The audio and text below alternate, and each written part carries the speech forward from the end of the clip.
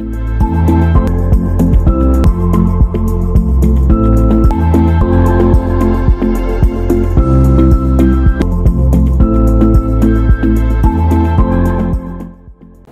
సర్వం health channel ప్రేక్షకులకి నమస్కారం. కళ్ళే ఇది చాలామందిని తిక్కముఖపరిచే సమస్య. దగ్గుతుంటే కళ్ళు పుడుతుంది. కొంతమందికి తెమడలాగా కొద్దిగా పడుతుంది. దాని పెద్ద కళ్ళు అంటారు కళ్ళంటే చిక్కగా పడుతుంది. కొంతమందికి అది కళ్ళే పసుపు పచ్చగా ఉంటుంది కొంతమంది కళ్ళుతో పాటు రక్తం జీర కూడా ఉంటే రక్తం కూడా పడుతుంది కొంతమందికి రక్తంతో రక్తం బాగా పడుతుంది. ఎందుకు వస్తుంది కళ్ళే? ఈ కళ్ళే ఎన్ని రకాలుగా ఉంటుంది అనే విషయం పైన ఈ రోజున ఈ ఎపిసోడ్లో తెలుసుకుందాం. కొందరిలో కళ్ళే నీరులాగా ఉంటుంది. ఇది ముఖ్యంగా పల్మనరీ కంజెషన్. అంటే ఊపిరితుల లోపల. మన ఊపిరితులు ఉంటాయి కదా దాంట్లో చిన్న చిన్న యాల్వేలు ఉంటాయి దాంట్లో వాటర్ తీరుతుంది. అక్కడ రక్తనాళాలను కూడా ఉబ్బుతాయి. ఆ పలమండ్రి కంజెషన్ అంటాం దాంట్లో. అలాగే పలమండ్రి ఎడిమ నీరు బాగా పట్టేస్తుంది. ఊపిరితిత్తులకు నీరు పట్టేస్తుంది అన్నమాట ఊపిరితిత్తులో టిష్యూ ఉంటుంది దాన్ని నీరు పట్టేస్తుంది. పలమండ్రి కంజెషన్ అంటాం. అలాగే హైడ్రాటిసిస్ట్ అంటాం. అది ఒకసారి రప్చర్ అయ్యి నీళ్ళలో కారిపోతుంటుంది ఈ విధంగా నీళ్ళులాగా కళ్ళే నీళ్ళులాగా వస్తుందన్నమాట. అలా కాకుండా కొందరిలో కళ్ళె జిగురుగా ఉంటుంది. జిగురుగా. ఎంత దగ్గినా తెమడ తెగినట్టు కమడదు దగ్గుతూనే ఉంటారు తెమడ పడుతుంది. దగ్గుతుంటారు తెమడ పడుతూనే ఉంటుంది. అలా తెమడ జిగురు అలాగా ఉంటుందన్నమాట. ఇలా కొంతమంది చేతులు తిప్పుతుంటారు కూడా దాన్ని. ఇలా దగ్గుతుంటే దగ్గుతుంటే చేయి తిప్పుతుంటారు దాన్ని. ఆ వేరు మీద తిప్పి చూస్తారు. దానికి ముఖ్యంగా క్రానిక్ బ్రాంకైటిస్ పరిస్థితిలో ఈ విధంగా జిగురుగా ఉండి వస్తుంది. ఉబ్బసం వాళ్ళలో కూడానే ఇలాగ జిగురు జిగురుగా పడుతుంది. ఉపసలు దగ్గు అలా వస్తూ ఉంటుంది కదా దగ్గుతుంటే తెమళ్ళా పడుతుంది. ఇంత ఇంత వస్తుంటే ఓ దగ్గుతుంటారు వాళ్ళు. అంతే జిగురుగా ఉండేది అవుతుంది అన్నమాట. అలాగే శుద్ధగా జిగురుగా ఉండే కళ్ళె కొందరిలో ఉంటుంది. శుద్ధగా ఉంటుంది జిగురుగా ఉంటుంది.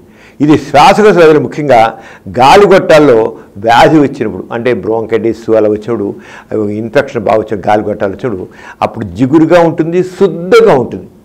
బాగా శుద్ధగా పా- పాకం పెట్టినట్లుగా ఉంటుంది. అలాగే దుర్వాసన దుక్కుని కళ్ళు ఉంటుంది. అది చీవులా కూడా ఉంటుంది దాంట్లో. దుర్వాసన ఉన్నాక ఇప్పుడు చీవు ఉంటే దుర్వాసన ఉంటుంది కదా దాంతో చీవులు ఉంటుంది. దీన్ని పుర్లెంట్ స్ఫోటం అంటారు. కళ్ళనే స్ఫోటం కూడా అంటారు మెడికల్ భాషలో. అండ్ పుర్లెంట్ స్ఫోటం అంటారు. ఇది బ్రాంకెక్టిసిస్ అంటారు బ్రాంకెక్టిసిస్ అంటే ఊపిరితిత్తుల్లో లోపల టిష్యూ ఉబ్బి గొట్టాలు ఉబ్బిపోతాయి వాచిపోతాయి. దాంట్లో చీము చేరుతుంది. బాగా చీవు చేరి ఆ దగ్గుతుంటే ఇంతంత చీవు బయటపడుతుంది. ఎవరికైనా దగ్గుతుంటే దగ్గుతో పాటు చీవులా బయటకు వచ్చి వాసన వేస్తుంటే అది బ్రాంకెక్టేసిస్ ఉందనుకోవాలి. ఎవరు వాళ్ళు మాట్లాడుతుంటే కూడాను వాసన వేస్తుంటుంది. వాళ్ళు దగ్గుతుంటే వాసన వేస్తుంటుంది. మామూలుగా దగ్గుతుంటే వాసన ఉండదు. కానీ బ్రాంకెక్టేసిస్ ఉన్నవాడు మరి దగ్గుతుంటే పక్కన తెగ వాసన కుళ్ళు వాసన వస్తుంది. కుళ్ళు వాసన వచ్చి అలా లంగ్ యాప్సెస్ అంటాం. ఊపిరితిత్తులు పుండు. మనం సెగడ్లు ఎలా అంటాం బయట ఇక్కడ ఆరంగి కూడా పుళ్ళు ఏర్పడతాయి. పెద్ద పెద్ద పుళ్ళు. ఆ పుల్లలా వస్తుంది కూడా.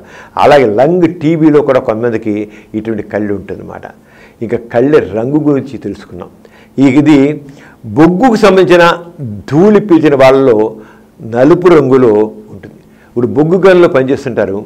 వాళ్ళకి లంగ్ ఇన్ఫెక్షన్ వస్తుంది. లంగ్ ఇన్ఫెక్షన్ వస్తే ఆ లంగ్ ఇన్ఫెక్షన్కి ప్రధానంగా ఏంటంటే ఆ బుగ్గల్లో అంటే బొగ్గు ఎంత రజలు ఉంటుంది సార్? ఆ బొగ్గు ఉన్నది అది ఎక్కువగా లంగులో ఇరిటేషన్ కలిగిస్తుంది. అంచేత అది పీల్చేస్తారు. బొగ్గు యొక్క దీన్ని పొడిని ఆ దుమ్ముని పీల్చే చేసేకల్లా ఆ డస్ట్ని ఆ కోల్డ్ డస్ట్ని పీల్చేయడంతో వాళ్ళ ఆ లంగ్ ఇన్ఫెక్షన్ వచ్చి లంగులోంచి తెమరబడుతుంటే నల్లగా ఉంటుంది. నల్లటిది తెమడమాట అది ఎవరికైనా నల్లగా పడుతుంటే తెమడ నల్లగా వస్తుంటే వీళ్ళు ఏమైనా బొగ్గు గనుల్లో పనిచేస్తున్నారా? లేదా బొగ్గు ఎక్కువనే ఉంటున్నారా? అనేది మనం తెలుసుకోవాల్సి ఉంటుంది. అలాగే న్యూమోనియా వ్యాధిలో తుప్పు రంగులో ఉంటుంది. మనం ఒక ఇనప గొట్టం కానీ లేదా ఇనప కడ్డీ కానీ తుప్పెడితే చూస్తాం కదా తుప్పు తుప్పుగా ఉంటుంది. లేదా పట్టుకుంటే రెదని కూడా తుప్పు తుప్పు. ఈ అంచేత న్యూమోనియా వ్యాధి వస్తుంది. న్యూమోనియా చాలా కామన్గా ఉంటుంటాం. ఈ న్యూమోనియా వ్యాధిలో తుప్పు రంగులో ఉంటుంది. అంచేత అందులో ఏంటంటే రక్తం కూడా కలిసి ఉంటుంది కొంతమంది. తుప్పు రంగే కాకుండా రక్తం కూడా కలిసి ఉంటుంది కళ్ళితో పాటు.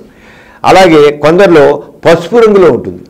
దీనికి యాక్నోమైకోసిస్ అనేది జబ్బు అంటే ఒక రకమైన ఫంగస్ ఇన్ఫెక్షన్ కారణం అవుతుందన్నమాట పసుపు రంగు పసుపు రంగులో ఉంటుంది అన్నమాట ఇది ఎరుపు రంగులో ఉండటానికి శ్వాసకాశాలు రక్తస్రావం జరగడం కాదు కొంతమందికి కళ్ళే ఎరుపు రక్తంలా కనిపిస్తుంది. రక్త జీరు ఉంటుంది రక్తం కూడా ఉంటుంది.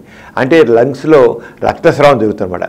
ఇంకా పలమండ్రి ఎడిమ అంటే ఊపిరితుల్లో నీరు చేరిపోయి ఉంటుంది వాళ్ళకి నింపు నింప చేరిపి నిమ్ము జరిపండి తెల్ల నొరగలాగా వస్తుంటుంది. అలాగే స్టెఫ్లోకోకస్ ఇన్ఫెక్షన్ వారిలో కళ్ళే ఎల్లో కలర్లో ఉంటుంది. లంగ్ క్యాన్సర్ ఉన్న వారిలో రెడ్ కలర్లో ఉంటుంది. అలాగే సూడోమనాస్ ఇన్ఫెక్షన్ అంటే ఆకుపచ్చగా ఉంటుంది. అన్ని రకాల రంగులు ఉంటాయి కళ్ళలో. ఈ రంగు ఆ రంగు కాదు కళ్ళు అంటే. స్ఫోటం ఈ స్ఫోటం అంటే కంచేత కళ్ళు ఏ రంగులో పడుతోంది అన్న బట్టి తేలిగ్గా మనం ఫలానా జబ్బై ఉంటుందని నిర్ధారణకు వచ్చేయచ్చు. నా కళ్ళే తుప్పు రంగులో పడుతోంది అన్నాడు అనుకోండి. అంటే అతనికి నింబోనియా ఉంది. నా కళ్ళే బొగ్- బొగ్గు రంగులో ఉంటుంది. అంటే ఎక్కడో బొగ్గు డస్ట్ కోల్డ్ డస్ట్ ఉంటుంది తర్వాత అతను ఉంటున్నాడు. అలాగే రక్తం పుడుతోంది. క్యాన్సర్ కావచ్చు. అని విధంగా కళ్ళ రంగు బట్టి తెలుసుకోవచ్చు అన్నమాట అంటే పేషెంటే తనది ఆల్మోస్ట్ నాకు అది ఉండొచ్చు అని అనుకోవచ్చు అన్నమాట ఇంకా కళ్ళులో ఇతర దోషాలు ఏముంటాయి కొందరు కళ్ళలో గట్టి పదార్థాలు ఉంటాయి. మ్యూకస్ ప్లెక్స్ అని స్పూటం ప్లెక్స్ అని అలాగే ఫైబ్రస్ క్యాస్ట్ అని అస్పెస్టాస్ బాడీస్ అని క్యాల్సిఫైడ్ బాడీస్ అని ఈ రకంగా అన్నీ ఉంటాయి అన్నమాట.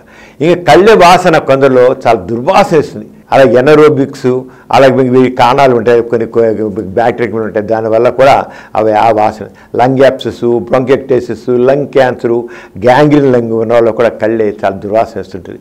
అంచేత ఎప్పుడైనా సరే కళ్ళె పడుతుంటే తప్పనిసరిగా కళ్ళె పరీక్ష చేయాలి.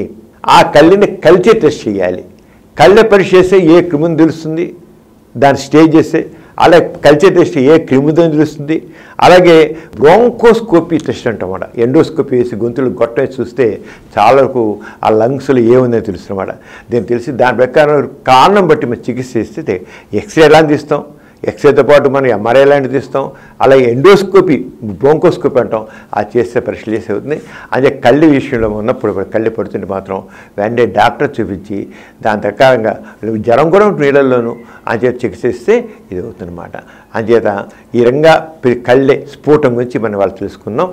మరి చూస్తూనే ఉండండి. వాసవయ హెల్త్ కేర్ ప్రోగ్రామ్. మీరింట్లో మీరే డాక్టర్. డాక్టర్ సమరం హెల్త్ ఛానల్లో రెగ్యులర్గా వస్తుంటుంది. అలాగే మరొక ఎపిసోడ్లో ఆసక్తికరమైన విషయాన్ని తెలుసుకుందాం. అంతవరకు సెలవు. నమస్కారం. మరిన్ని కొత్త వీడియోల కోసం మా ఛానల్కి సబ్స్క్రైబ్ చేయండి. క్రింద ఉన్న బెల్ ఐకాన్ని యాక్టివేట్ చేయండి.